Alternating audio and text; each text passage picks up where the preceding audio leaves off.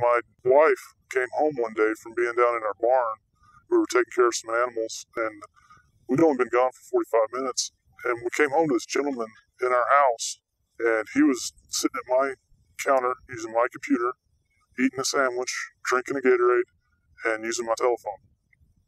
And my wife called me from the barn, and I came home, rushed in, and all I had was a 22 revolver, and I made him stay there till the border patrol came. It was a dangerous situation because she had two little kids with her, and she was alone in the middle of the brush, and it took the border patrol an hour to get there. My oldest child, who's six, is so afraid of a bad guy getting back in the house that she checks the doors every time she's in the house. She locks the door after I leave. At night, she'll holler out, Did y'all lock the doors? Uh, she has nightmares from the time that the gentleman was in the house. I mean, this is a small child that shouldn't have to be put in this situation.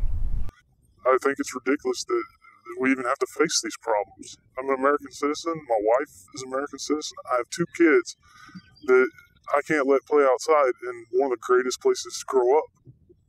I don't think Washington's doing anything at all. I think they're useless. Being on a ranch and farming and ranching has always been in my family.